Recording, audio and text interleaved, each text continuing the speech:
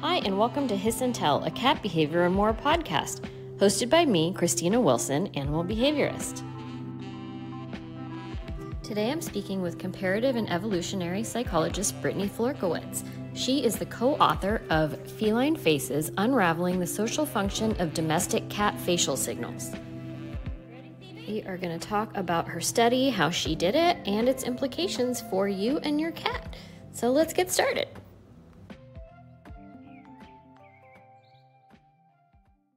And welcome to another episode of Hiss and Tell. I am your host, Christina Wilson, and with me today is comparative and evolutionary psychologist Brittany Florkiewicz. Welcome, Hi. Brittany.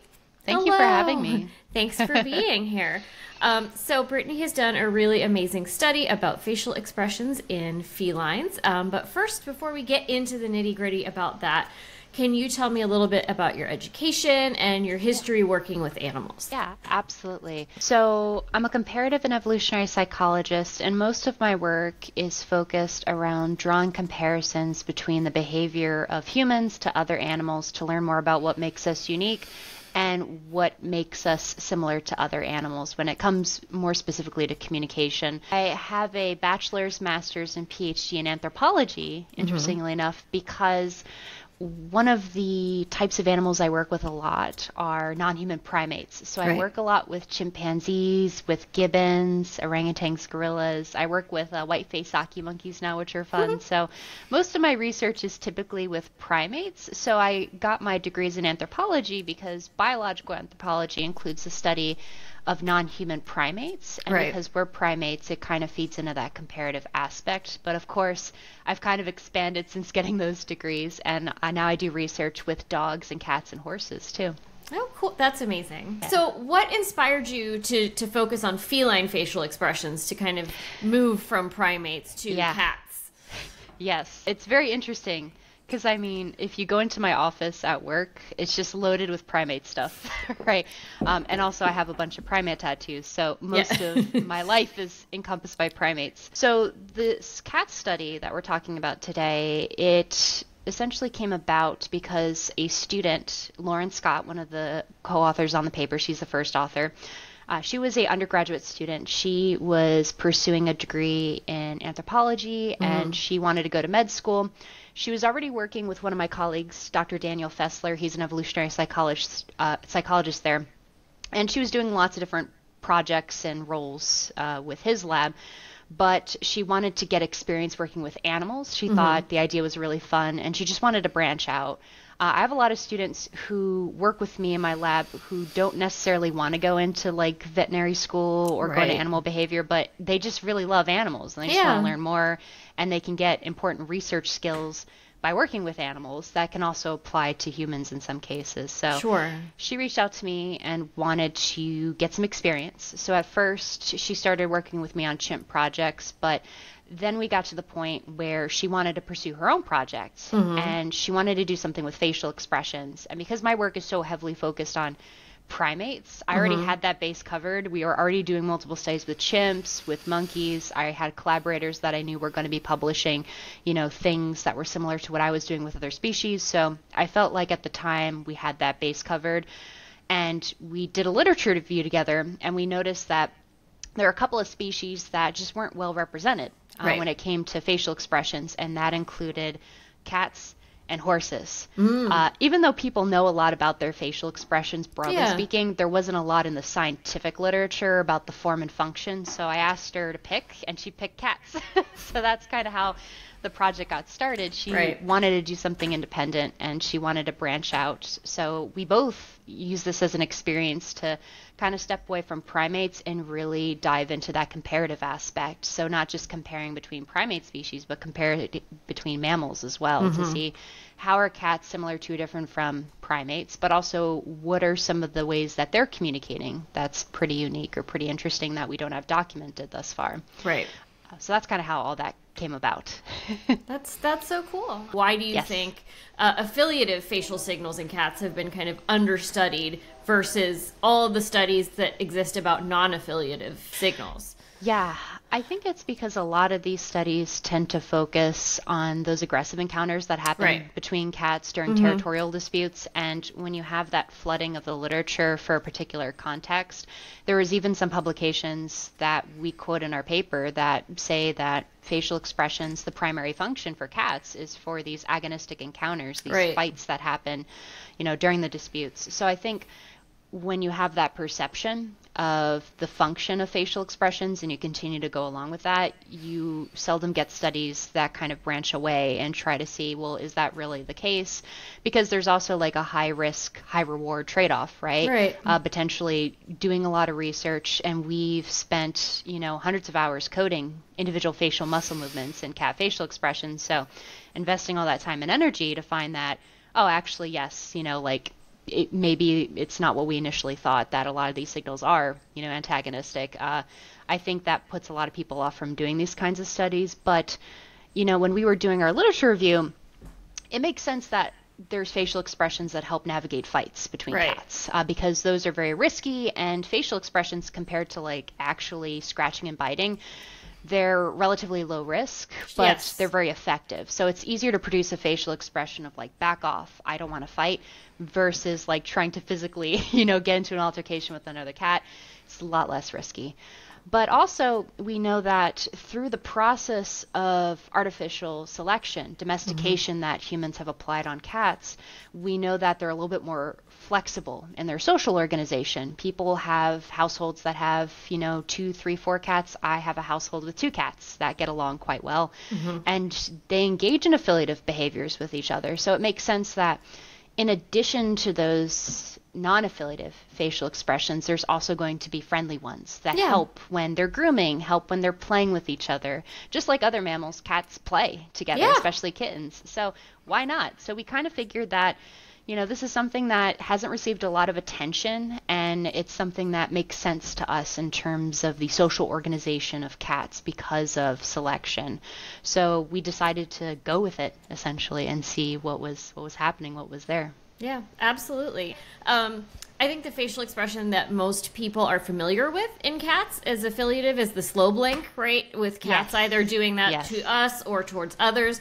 And I think as we get more into talking about what your study found, we'll we'll talk about some some Yeah. other ones. But do you want to tell us just kind of briefly about the four main contexts in which we see the interspecific social interactions in cats? I know your paper covered that, but uh, there were two that you actually dealt with in your study, and then two that you did not deal with because of you know where the study took place and um, just how how you were able to do it. Yes, so we're talking about like the the mating context and also like the context associated with um with kittens and like developmental stuff. Right. Um, so I mean, the we had the opportunity to conduct this study at a very unique location, a cat cafe, and a lot of the cats that were housed at the cat cafe were adults and they were fixed or, or spayed or neutered.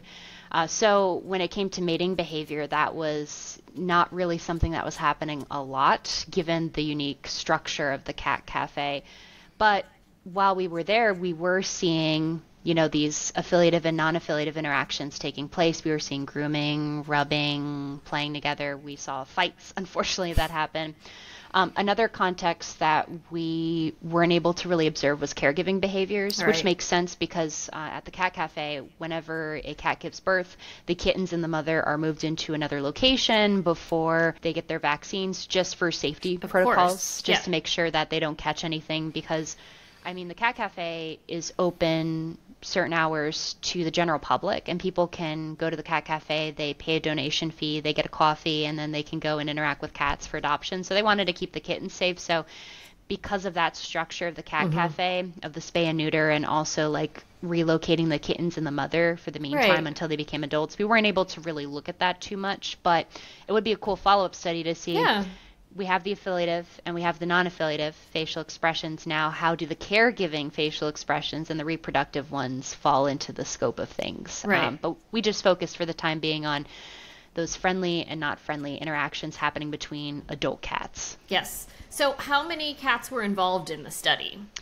So there were, I believe, 52 or 53 cats involved, um, which is one of the reasons why we decided to do this at a cat cafe compared to, because when we were brainstorming this, one of the options we had was going into people's homes that have multiple Sure. cats. And but that's very time intensive. Most people have around two to three cats so we would have to go to multiple households. You have to account for confounding variables like Right. differences in household structure. Uh, if there's the presence or absence of other animals like dogs or, or reptiles or ferrets or what have you. So we wanted to find somewhere that had a large population of adult cats that was accessible, like very easy to observe uh, from a distance, but also that you know gave us the opportunity to see diversity in facial expressions with all of them living in the same environment. So that's why we chose the cat cafe. 53 cats. Now, the only downside is that a lot of these cats are mixed breed. Most of them are some kind of mix of domestic Sure. short hair. Yeah. Um, so it would be a cool follow-up study to see. All right, well, these are domestic short hairs, but like, what about long-haired cats? What about other breeds of cats? How does their facial structure and morphology influence their facial expressivity during these kinds Right. of interactions? Um, but yeah, that's why we ended up going with the Cat Cafe Lounge uh, Yeah. because of the 53 cats that was there, which is awesome. That makes sense. If you if you ever need to do a follow up, we have 13 cats, so you. Oh, nice. That's awesome. Yeah. yes. Yeah, I have my own lab in our house. Um, we have a lot of cats. Can you elaborate on the specific methods that you use, like the facial action coding system, and, and Yeah. just kind of break it down for people how you did the study? Yes. So when it came to going into the Cat Cafe Lounge and collecting video footage, because what we like to do is we like to collect video footage of these interactions taking place, bring that video footage home and code it, because it takes a long time to code. Like Mm-hmm. Yes, one hour of video footage can take four to five hours minimum to code.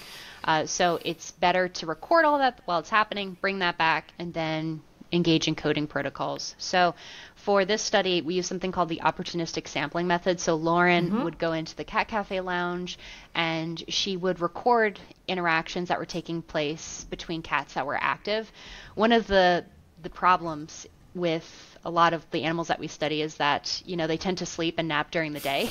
so you might Yes. be following one cat, right? Because you're like, oh yeah, rates of behavior. Let's follow the same cat for five hours, and then we mm-hmm. can say this is the rate of facial expressions they're producing. But then they might fall asleep for three hours, you know. So we were seeing that happening, and we're like, okay, th- this is not useful for what we're trying to do. So we ended up using that protocol where you know Lauren would go around the cat cafe and during off hours, so humans weren't present. It was just her and the cats. Uh, she would follow the cats, the most active bunch of cats, and she would record whenever a social interaction took place. So then, using data from the social interactions that are happening, she brought that back home and then we were able to look at their facial expressions using the facial action coding system protocols. So, facial action coding systems or FACS were initially developed by Paul Ekman. He's mm-hmm. a psychologist, a social psychologist who uh, studies emotion, and he developed the FACS initially for humans to be able to see the relationship between emotion and facial expression. And he wanted to see which facial muscle movements are activated during these bouts of happiness or sadness or what have you. Um, even though we're taking a more neutral approach to the study of emotion because you know we're not using methods that can get into the mental lives of cats Right. right like we have to just use external behavior things that we can actually observe and quantify. Um, we can still use facial action coding systems because the protocols are very rigorous it's very systematic and standardized. So the way that FACS works is that every single facial muscle movement is assigned a unique code or an action unit. So AU12, for example, AU12 is lip corner puller, and whenever you code an AU12, it means the corners of the lips are being drawn backwards, closer to the ears. Right. Uh, so every single facial muscle movement is assigned a code, and it's the combination of these facial muscle movements that creates an expression.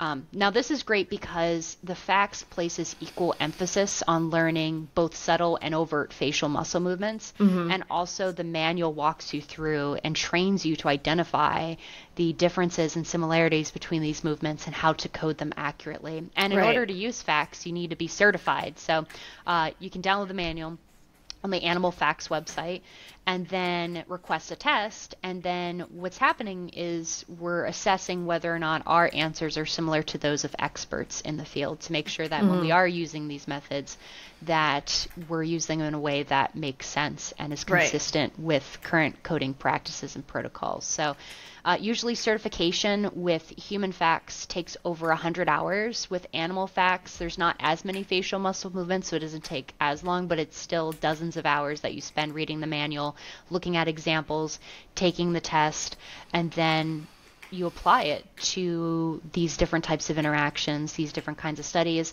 Um, we use it for research purposes, but mm-hmm. also I know that it, FACS can be used for other functions. So, for example, uh, animation studios use FACS hmm. to be able to learn how to animate faces and make them look more realistic uh, right. uh, in movies and television shows. So, there's lots of people that use FACS for a variety of purposes. But for us, because we were interested in documenting how many different morphologically distinct facial expressions can cats produce and are these friendly or not, the FACS made the most sense. So sure. uh, Lauren and I became certified in cat FACS. I already had a bunch of fact certifications in chimpanzees, orangutans, and so forth uh, before this study, but Lauren got certification in cat FACS, so did mm-hmm. I.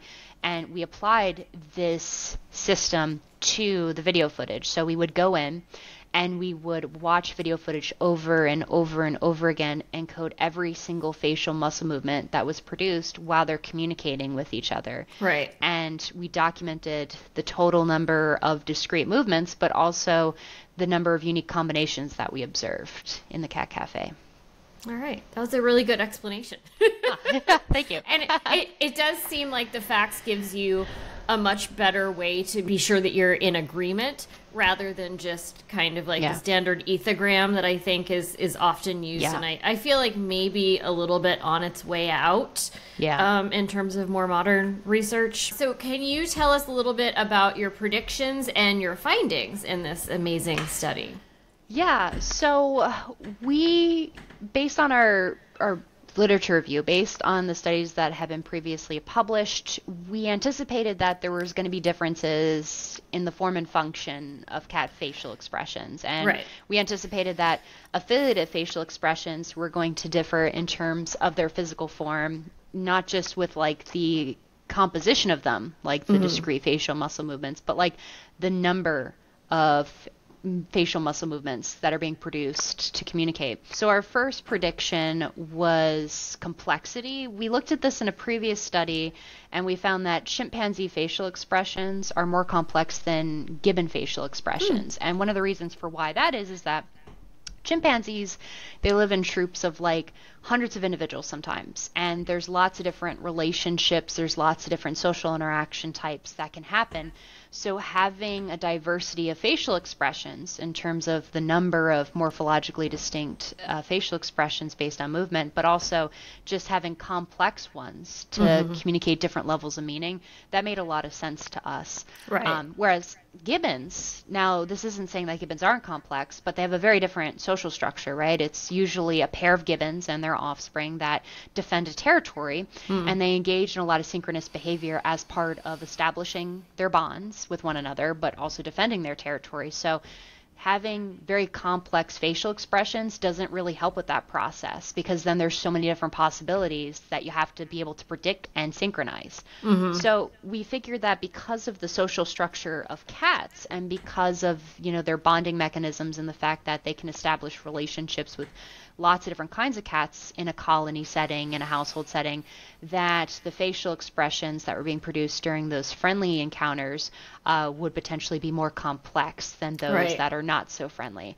Um, and also, if you think about it, because fights are high risk, uh, mm-hmm. uh, you would want to make sure that whatever signal you're going to use, it's very clear, it's very obvious, there's no room for misinterpretation there. So right. it makes sense not to see a lot of diversity in terms of the physical form of those expressions. So that was our first prediction.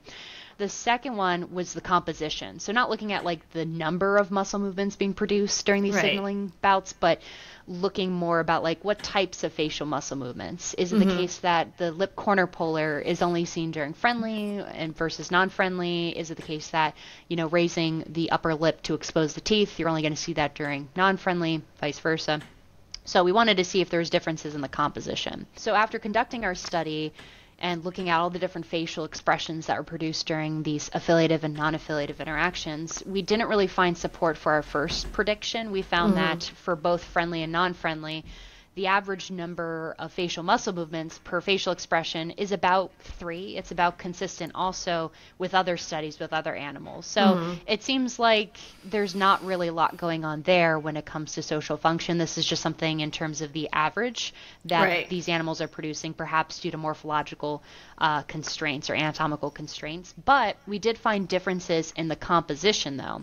So there are certain facial muscle movements that very strongly correspond to either affiliative or non affiliative interactions. Uh, so when you put all those together and you compare them to like a neutral resting face, um, right. With friendly interactions, what we often see is that the ears will go forward mm-hmm. and then the whiskers will go forward, and usually the eyes are going to be closed. And if you think about it like this, I mean, it's almost as if the cat is reaching out to touch the other cat, yeah. right? They feel comfortable, they feel happy, they feel playful enough to be able to reach out towards that cat. Mm-hmm. But in contrast with non affiliative, right, the ears go backwards, the yes. eyes are opened, and the pupils constrict to protect the eye, right? And you see that the mouth opens and the lips are being lipped as a, a response to prepare potentially for bites, prepare for fight. Uh, so we see that in contrast to like going forward, you're going backwards essentially, right. um, which you know, again, kind of makes sense in terms of the kinds of social interactions that cats are engaging in on a daily basis, um, but also makes sense that even though there's lots of different kinds of facial expressions, we found 276, right? Mm-hmm. Uh, there's still consistency and similarities in the kinds of facial muscle movements that appear in those combinations, in those facial expressions. So even though maybe, for example, you might have a, a, friendly facial expression where the ears are going forward, the whiskers are going forward, and the eyes are closed. Maybe that's accompanied by purring. Maybe that's accompanied right. by you know other kinds of facial muscle movements like the the corners of the cheeks raising or something like that. I mean, that's totally fine. And maybe there's different levels of meaning. Uh, mm-hmm. So that's mm-hmm. one of the follow-up studies we plan to do is see whether or not there's differences in the subcategories of affiliative interactions and if that corresponds to you know different kinds of facial muscle movements there. But it makes sense that there's similarities across these expressions, right? right? That all friendly ones or most friendly ones are going to have these movements, and most non-friendly ones are going to have this other set of movements associated right. with it. Yeah. Make it very clear and easy to communicate.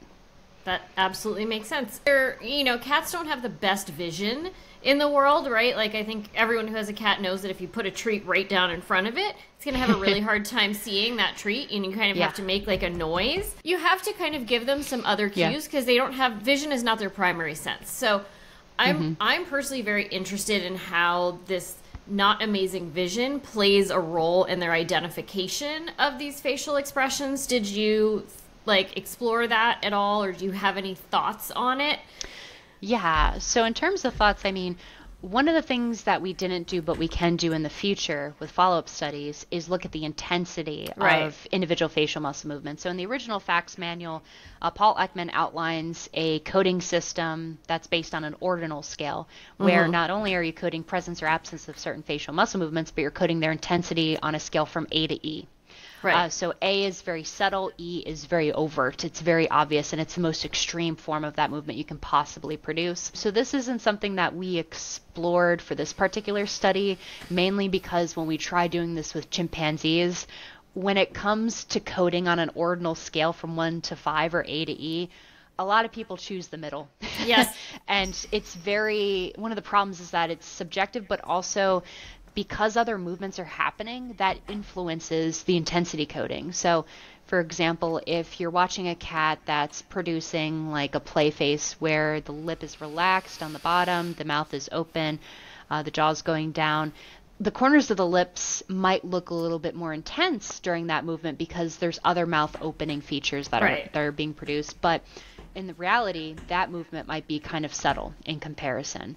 So there's a lot of confounding variables there, making it difficult to code. So with chimpanzees, it didn't really pan out. So we didn't really do it for this particular study, but that's definitely a follow up option. Mm-hmm. I think one of the things to consider is Paul Ekman describes it in the Human FACS Manual, but there's not really a lot of information about how to do that kind of coding in the Cat FACS Manual or the Dog mm-hmm. FACS or the Horse FACS. Right. Uh, so that would be something that needs to be developed first and rigorously tested through inter-observer reliability, through coding certifications before that right. can be applied to this study.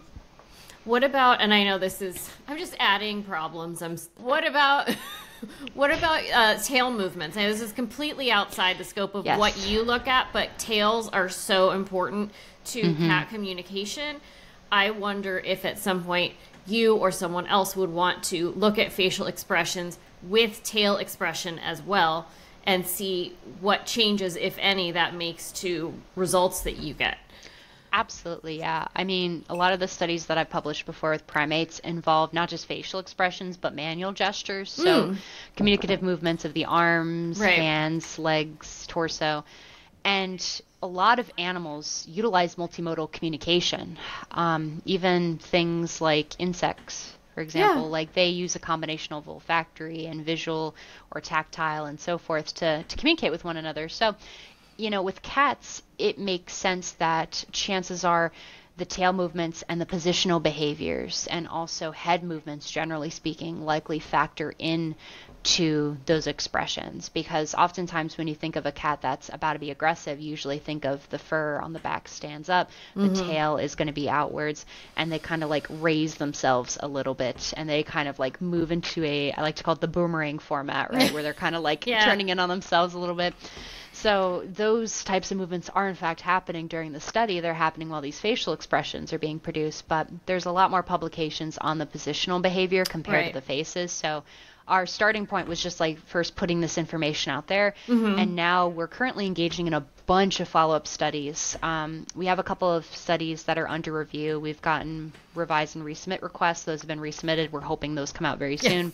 Um, Yes, very exciting. but like we we now are expanding past just looking at the facial expressions and those compositions and mm-hmm. we're seeing how they're actually using them in the social interaction. Oh, so, cool. you know, for example, do cats do f- rapid facial mimicry like humans, mm. like primates, like sun bears, like a bunch of animals do?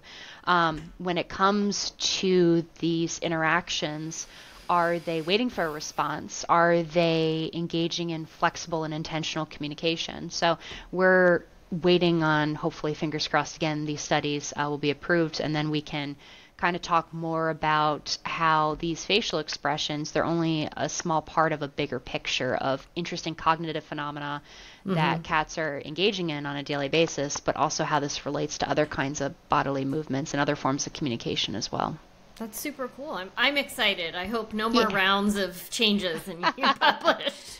Yes. Yeah. Um, so, in your study, you suggested that domestication likely yeah. influenced uh, a lot of the development of these cats' interspecific uh, facial signalings. Can mm-hmm. you talk a little bit about that? Yes. Um, when you compare domesticated cats to other cat species, like wild cats and big mm-hmm. cats, uh, we notice that domesticated cats tend to be a little bit more flexible in their social organization.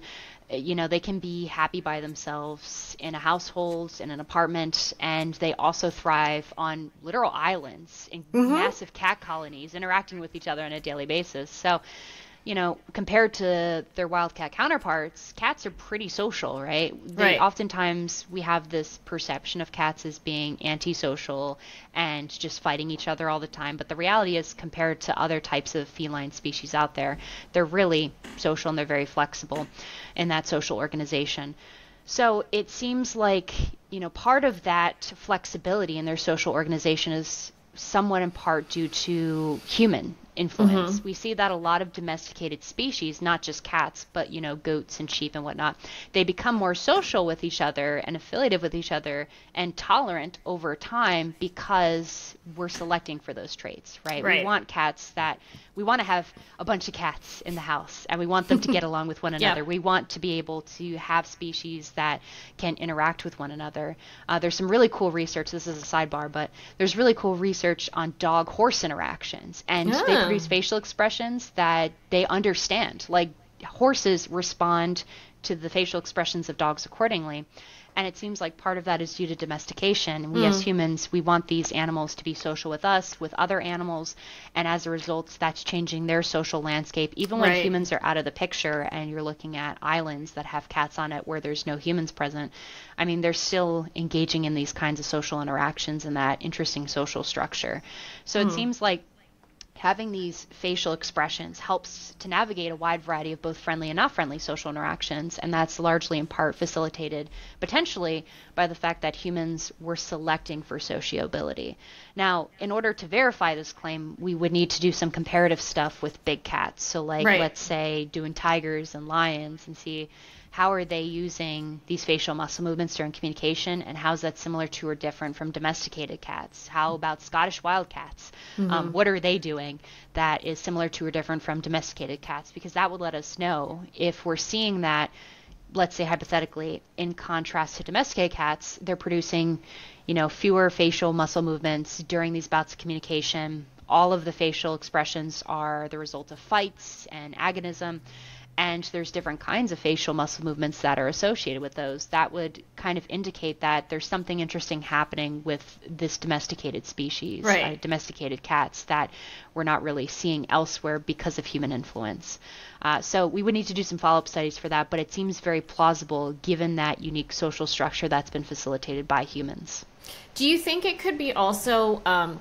less that people have self-selected or people have selected cats because we've done it so much less than we have with dogs because our history mm-hmm. with cats is so Yes. so new, right? It's only like 10,000 years of the domestication of the cat versus yeah 100,000 with the dog where we really have bred and selected dogs to have this sociability, like have all the characteristics that we want, right? To make them sort of human Yeah. dogs. While cats are really still very much cats, they're, Yeah. they don't seem to be a whole lot different. And in fact, their DNA is not really unchanged. So, Mm-hmm. uh, and I think you touched on this in your in your paper in your literature Yeah. review that um, a lot of this could be potentially because they needed to learn to cooperate um, and be around each other to Mm-hmm. get food from humans or to at least you know get obtain grain or you know whatever the Yeah. whole story was when they were first beginning to live with people so um,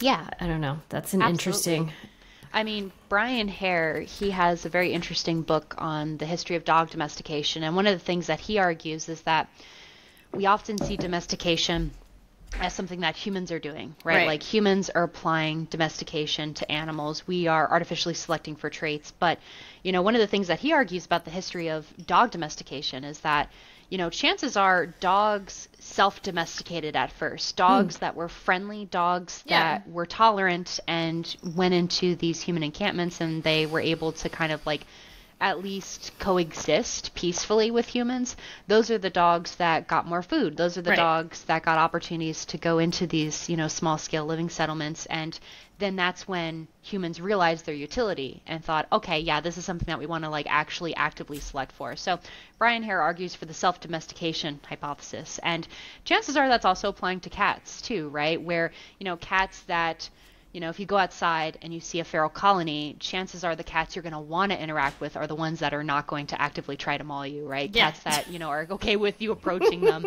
Uh, they're going to be way more successful at receiving Yes. your affection and attention compared to other cats. So it seems likely that, you know, the origins of domestication, there's probably a little bit of self-domestication happening in there as well as, you know, humans taking a more active role in artificial selection too. Yeah, that all makes sense. Okay, so you had uh, 27 males and 26 females in the Yeah. study, and then you found, I'm just reading off my notes because I can't remember this, but you Oh, found okay. 413 facial signals from the males and 275 by females, so that's like pretty. s- Pretty skewed. Do you have any Mm-hmm. idea why the males seemed to produce so many more signals? Yeah, so with the male and female cats, I mean, all of them are out in the main lounge area. So Right. to kind of give you some perspective, the the Cat Cafe lounge, there's a indoor lounge area that's like the biggest section. And then there's an outdoor patio section Mm-hmm. that that they like to call it, where visitors can go and sit on patio chairs, and it's kind of enclosed. And then there's also a back room where Mm-hmm. cats can go to use the restroom, but also if they're feeling a little bit like not social with humans like coming in to timeout. visit. Yeah, they can go there freely. There's like little cat flaps all around Oh, the cat cafe to go into. So that's really nice for them. Like they can Yeah. choose to interact with humans if they want to. Um, so during these types of interactions that are happening, so we followed cats, and Lauren was going into not just like the main lounge, but the catios and the back areas, right? Cats can come and go as they please. They can frequently interact with one another as well. Um, so chances are there's a little bit of like assortment happening there, where cats are engaging in particular kinds of social interactions depending on their pre-existing social bonds. So it's plausible that you know you maybe you have two or three male cats that already have a relationship with one another that she's following and they're producing lots of facial expressions, you know, as part of that Right. bond management. And maybe the female cats, you know, aren't doing as much of that. We didn't look specifically at like why and what kinds of facial muscle movements are unique to the male versus the female cats because we were interested in more like big picture species, you know, level phenomena. But mm-hmm. Um, it could be the case that there's some bonding that's happening. The Cat Cafe Lounge, a lot of the cats they receive are from the streets or have been surrendered uh, to shelters around Los Angeles. So a, a couple of the cats that came in did have pre-existing bonds. We had a couple Yeah. of brother uh, pairs, sibling pairs uh, that came in. One of them was a blackberry and black cherry, two like Aw. long-haired black cats. They were so cute, very very interesting pair. But we would see a lot of that where we were getting siblings, and it was usually now that I think about it, it was usually like male pairs of cats. So chances are, if they have certain kinds of relationships that they rely on on a daily basis, and they're you know interacting with on a daily basis, there's going to be some bias towards them versus like interacting with other females, other males, and vice versa. Sure. All right. Um, can you sum up your kind of findings and conclusion for our listeners so that they know, Yes. in layman's terms, what you found? Yes. So, very simply, cats produce a lot of different facial expressions. I was very surprised at the number of just morphologically distinct facial expressions because we found, you know, 276 morphologically distinct, you know, facial expressions that spanned across, you know, all of these observations. And when you look at the amount of video footage we were using, we gathered like 194 minutes of video footage, but we gathered, you know, 156.5 hours for chimps and got, you know, 376. So the fact that, you know, we're seeing large numbers with such small video footage that are comparable to the numbers of chimpanzees. That's very impressive. So we were very Right. excited to see that, you know, there's over 200 different facial expressions that cats are producing. So that was one of the cool findings. Um, and a lot of people were very excited about because they're like, oh, that's a lot more than we thought. We thought that cats just produce two, you know, very stereotypical facial muscle movement combinations and then that's it. But there's actually a lot more. Um, so then when you break down those 276 morphologically distinct facial expressions using FACS coding approaches, uh, what we end up seeing is that there's a breakdown of facial expressions that are used in both contexts, but also there are subsets of expressions that are used exclusively for affiliative and exclusively for non-affiliative interactions, which implies like a very strong social function tied to those. Um, so I believe we found that out of the 276, 48 are used in both contexts. So um, one of the cool things about this is that this could imply communicative flexibility, that facial expressions take on different meanings depending on other contextual factors, which is cool. But then out of the remaining 228 morphologically distinct facial expressions, 126 are friendly only, and then 102 are non affiliative, not friendly. So we see that there's very discrete form and function relationships, which is kind of cool. Um, because again, one of the possible findings we could have had was that they just are used all the time for everything, which Yeah. you know maybe is cool for communicative flexibility. But we're seeing that there are some patterns that we can hone in on that let us know as pet owners, like, oh yes, a fight's about to take place, or like, oh, this is actually going to be friendly. Right. Um, So then, in terms of the predictions, we've already talked about that a little bit, but there doesn't seem to be differences in the number of facial muscle movements produced during friendly versus non-friendly interactions, mm-hmm. but there are those differences in the composition of those facial expressions. Ears forward, eyes closed, whiskers forward. Usually, you see that in friendly facial expressions, affiliative, but ears backwards, pupils constricted, mouth is open, lips are being licked. That's non-affiliative. So we see you know, these very discrete facial muscle movements corresponding to either these affiliative versus non-affiliative contexts, which for us has been great for branching out into follow-up studies where we can potentially conduct studies on how people perceive and predict the behavior of cats after mm-hmm. these kinds of movements are produced and also creating you know materials for for example kids uh, we've done some like kids TV shows in mm-hmm. Canada and in France where you know you can use that information to help people learn more about cat behavior and make predictions about how these cat-cat interactions are, are going to go, which is really cool. That's awesome. Yeah, that yeah. was going to be my next question is are you going to develop or do you think anyone's going to develop like an app about cat facial expressions? Or you know even just a pdf that's like here's this expression yeah. here's this expression like let's look for these things you know so that this means my cat might be stressed or my cat might be this or my cat is happy. Like do you have anything in the pipeline in terms of that? Mm-hmm. yeah we actually have a couple of studies. We have um, AI studies that are coming mm-hmm. out. So, like seeing whether or not we can train models Ooh. to use information about facial expressions to make predictions for you about how things are going to go. We have a collaboration with Companion Animals New Zealand in the works that is going to essentially allow us to look at how people perceive of these facial expressions and muscle movements and then use the results of that study to develop materials that can be posted online. One of the things that we're trying to do, and this is very ambitious, is create a cat dictionary of different facial expressions that are illustrated, have photo examples, have video examples, and then just have an entry for each mm. uh, based on which expressions people, you know, tend to struggle with the most, which movements people tend right. to struggle with the most. Because some of these movements are very obvious, like licking the lips, like very easy to yeah. spot. But sometimes those subtle, like ear rotating backward movements, a little bit harder to clock. So yeah. it's good to have those materials available. Uh, so we're working on some studies related to that, which is really cool.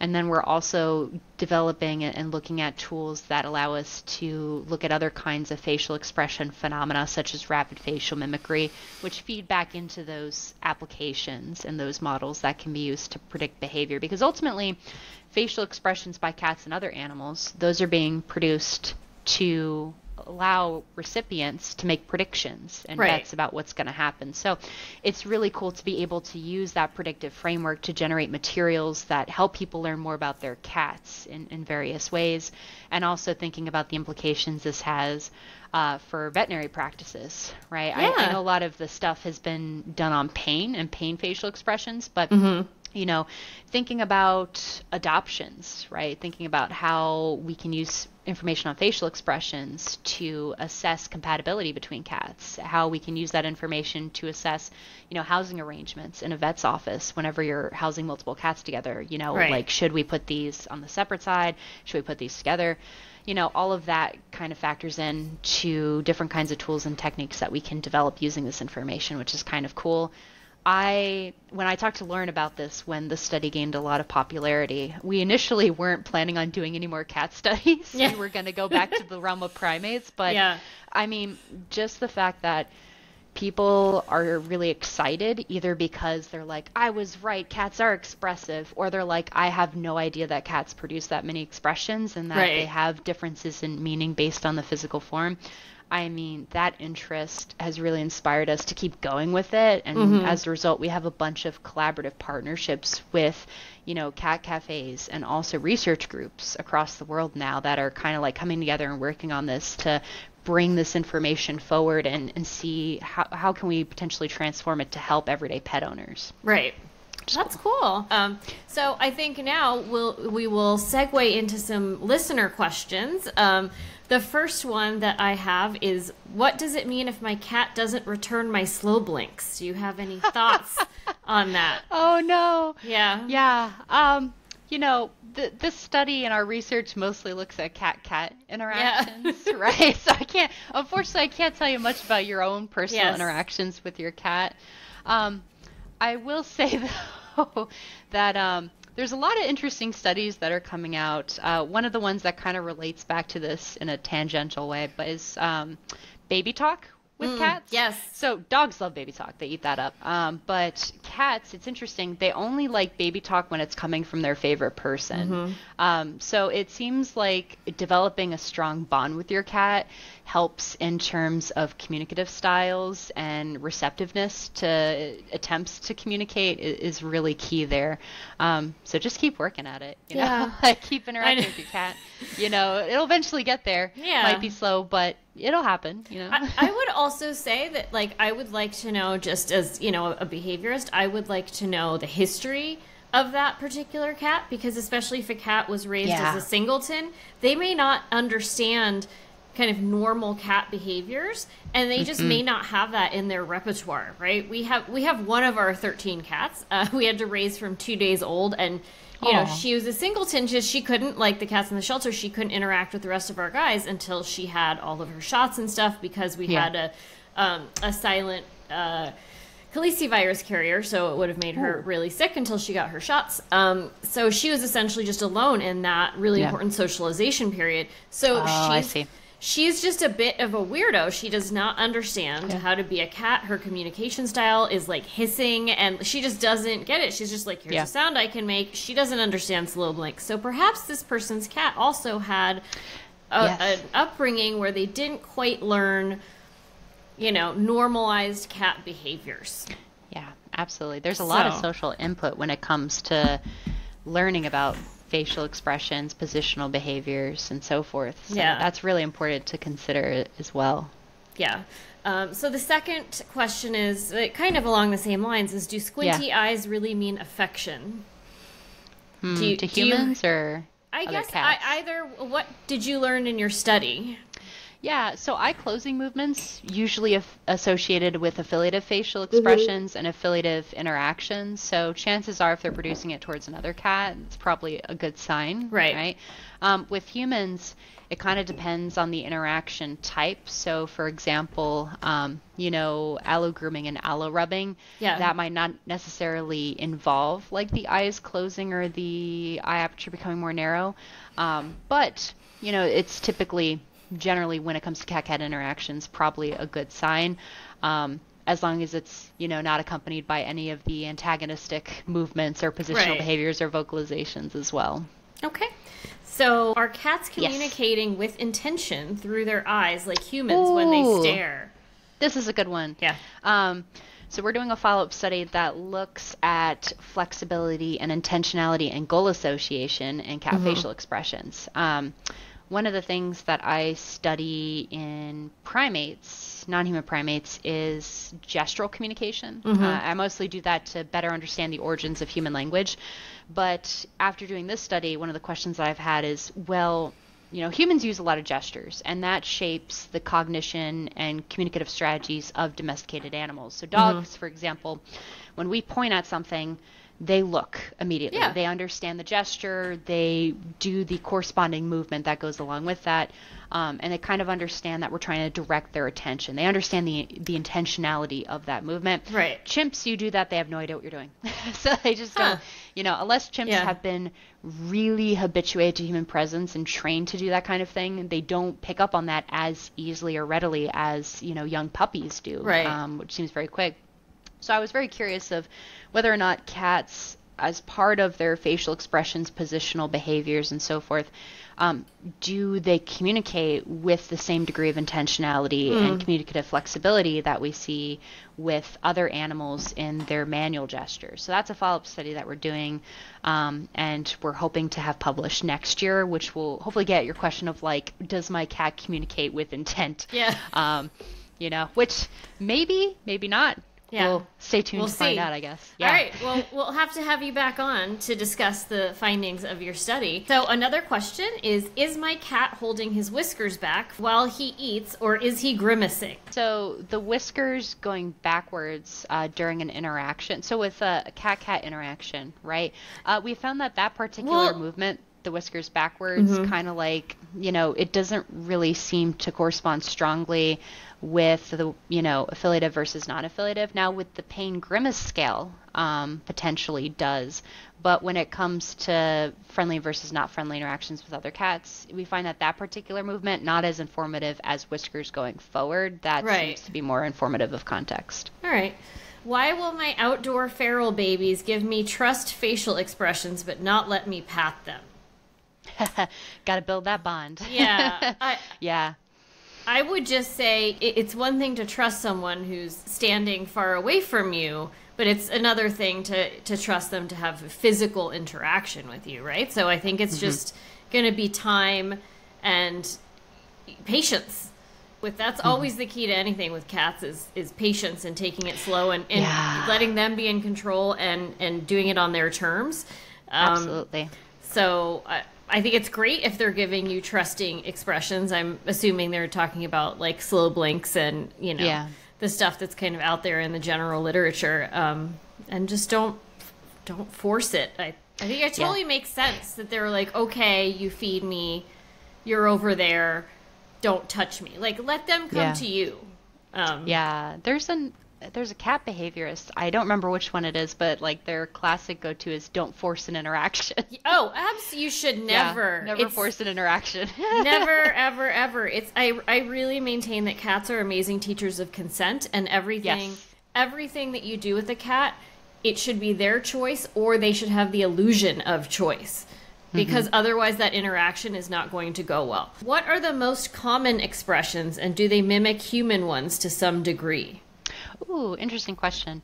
So, I mean, obviously, the, the affiliative and non affiliative ones I described don't really apply right. to humans because we yeah. have very limited ear mobility, which is unfortunate because macaques, yeah. for example, have amazing ear mobility, but it's okay. Um, obviously, no whiskers either. Now, there are some facial expression types that are homologous. Uh, mm-hmm. They're widespread across multiple species because they serve an adaptive function that is useful for all animals and the kinds of social negotiations that are happening on a daily basis. So, um, an example of this is a play face, right? Mm. So play faces produced by humans. Uh, our play face is human laughter, right? Where the mouth is kind of opened, the the bottom lip is relaxed downwards, the corners of the lips are drawn backwards, but you know it's produced during very friendly interactions when we're having a good time. Chimpanzees, you know, uh, other great ape species, monkey species, bears, mm-hmm. dogs, horses, like lots of animals produce this. Um, and it makes sense because play just like aggressive interactions you know play is potentially risky it can yes. get out of hand very fast so having a facial expression that helps to modulate the play bout right so we've seen previous studies with orangutans right have shown that there's different kinds of play faces that increase or decrease play intensity change mm-hmm. the type of play that's being engaged in so this helps to modulate a potentially risky behavior, but play is so beneficial to animals, right? It gives yes. them good sociocognitive skills, it gives them fine motor skills. So all of that is being acquired through bouts of play. So it's worth it to have play and to have communicative mechanisms that allow, you know, during that social interaction for an organism, an animal to be able to kind of, you know, control what's happening to to some extent. Right. So we see that just like with all those other animals, this is another publication that's coming out. We see facial muscle movement combinations. Oh, and I also believe we mentioned this at the end of our paper in the discussion. We see play faces. Cats produce play yeah. faces as well. And you know, it's one of those things that hasn't been widely documented or studied. Uh, so, for example, rapid facial mimicry hasn't been studied in domesticated cats, has mm-hmm. been studied in big cats, but not domesticated. But it makes sense that they have those, and they're very similar across organisms because all animals play. Yeah. Um, so it looks very similar to what we would see in humans. Um, we just have to make sure that we're not assuming that all facial expression types are homologous. Um, the classic example I give when I'm teaching animal behavior, um, chimpanzees produce something called a silent bare teeth display, mm. where you know the the corners of the mouth you know, go backwards towards the ears. Both right. rows of teeth are exposed. It kind of looks like a human smile. So when people see silent bare teeth displays, whether it be in the zoo or like on birthday cards, this comes up a lot for some reason. Um, people are like, "Oh yeah, that chimp's happy. That chimp is terrified." No, yeah, its it's fear, life. right? Yeah. It's so afraid. It happens during like interactions where there's aggression and there's Right. a high risk of bodily injury, and they're trying to be submissive to reduce tensions. So, you know, we have to be careful because just because a facial expression looks like something we produce, it doesn't mean Right. it's necessarily the same thing or it has the same function. So we just have to be cautious of that. But play faces are a good candidate for this um, because we see that they're produced during affiliative interactions with cats and they have the same facial muscle movements as we see with human laughter faces, which is kind of cool. Can you explain what a cat play face is? Yeah, so play faces are produced when they're doing playful interactions with other cats with toys or each other. Right. And the way that it looks is the corners of the lips are drawn backwards, the bottom lip is relaxed, and the jaw's relaxed so that you don't. Sometimes you do, but oftentimes you won't see the top row of teeth. It's usually the bottom row of teeth that you see, and sometimes there's tongue protrusion that happens as well. Um, so it kind of looks like they're just doing like you know a little bit of a like Yeah. face. I have really bad facial mobility, by That's the way, which is funny as someone that studies facial expressions. So, you know, but it's like, yeah, just like the little like, Yeah. you know. So that's what it kind of looks like. And you'll see this during play when they're interacting with one another during high intensity bouts. And, you know, it's very different from those aggressive facial expressions we were talking about where the ears are backwards and, you know, they're licking the lips in anticipation of, you know, doing biting behavior or something Right. like that. Um, so they're pretty easy to identify during those playful bouts, which is Yes. kind of cool. And I, I get a lot of questions from people um, saying, oh, how do I know if my cats are playing or fighting? So I think that's a good clue. And then Ooh, I yeah. think also with cats, uh, playing is silent. And Yeah. fighting is not generally. There's going to be some sound Yeah. because cats would rather make sound, as we discussed, than have actual like physical contact, which Yeah. can, can really be dangerous for them. You know, out in the wild, if something gets infected, that can be Yeah. can be the, the end of it for them. So they do want to try to not actually have to have have contact. Yeah. So they tend to be really noisy, um, Yes. rather than actually do anything um, other than like a soft skibbity pap and like a scream. Um, so if your cats are silent and they have they're doing this this facial expression, I think you're you're pretty safe to assume it's play. Uh, if they're noisy, I would uh, really try to break that up because that's you Yeah. know 99 times out of 100 that's that's fighting. Somebody just said, "When should I be concerned?" I I don't know.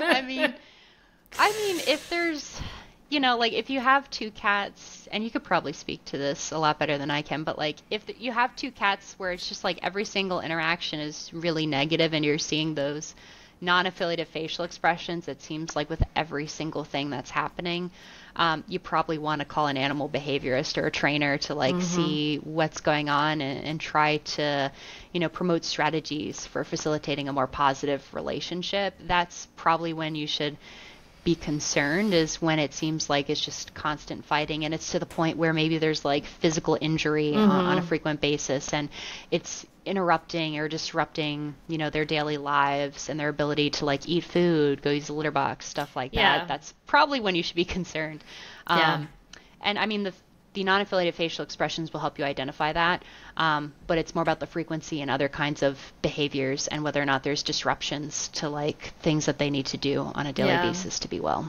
Yeah, I would say also staring.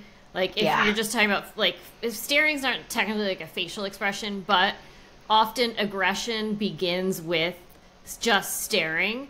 You know, one cat will just go up to the other cat and just kind of just stare at them. Yeah. And that can really start this bullying aggression. Um, And that will often happen around a litter box too. So if you have a cat who follows your other cat to the litter box and just stands Yeah. and stares, that's not great.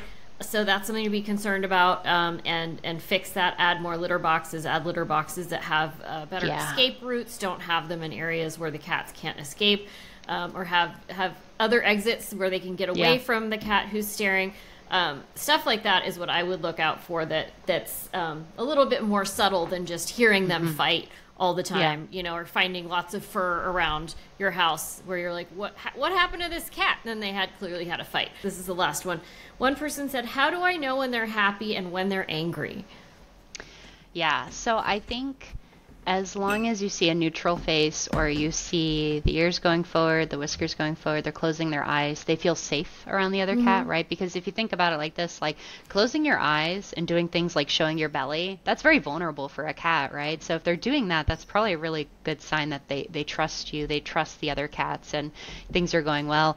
But if you, you have those tense behaviors, if you have the non affiliative facial expressions, the growling, the hissing, the hiding, and whatnot, that's probably not as good of a sign, right? Right. Um, and especially with adopting a cat and introducing new cats into the household, it's a very time intensive process. Um, and also like keeping in mind like we were saying don't force an interaction yeah. and just kind of like giving them the space that they need to you know to be comfortable with you and to be able to come out and interact with you i think that's really important um, in order to facilitate a good relationship with that cat and your other cats or just like you and your cat I, I think is a good call. Yeah. I think one really good way to know if your cats are content is is to see how they sit with you and with your other cats and and to remember that for us as humans sitting face to face is affiliative right? That's it's like us right now. We're talking. We're you know face to face. But for felines this is actually an aggressive move right? It's mm-hmm. not the most comfortable for them. So when they're feeling like they really are comfortable around someone else, they will sit what I call butt to butt. And I even yes. made up a dumb song about butt to butt that like my wife and I will sing in our house when we see our cat. So if you see your cat sitting like butt to butt like this, they're really mm-hmm. good friends. They trust each other. They are touching each other slightly. That is the best scenario that you could see is these cats love each other they're super happy. They're butt to butt. And if your cat comes and sits butt to butt with you, your cat is super, super happy with you and trusts you and does not view you as someone that they have to keep their eyes on, right? Yeah. So, do you have anything else you want to share with our, our listeners about all of your amazing work? Um, sure. If you're interested in learning more about our work and some of the cool, exciting upcoming projects that we have going on, mm-hmm. um, you can visit my website. It's just www.florkie.com. Uh, we have a lab webpage. We have information about ongoing projects, not just with cats, but dogs and horses and other animals and primates, of course. Um, so feel free to check that out if you want to learn more. Uh, a lot of the cat studies that we have in review or ongoing, we'll publish information there and also on the websites of the nonprofits that we're collaborating with as well. All right, cool. Thank you so much for taking the time out of your day to, to speak with me and um, share everything about your super interesting study. I really appreciate yeah. it. And I think of course. this is great for our listeners to learn more about their cat's facial expressions. Oh, well, thank you for having me. I appreciate it. Absolutely. Thanks for listening.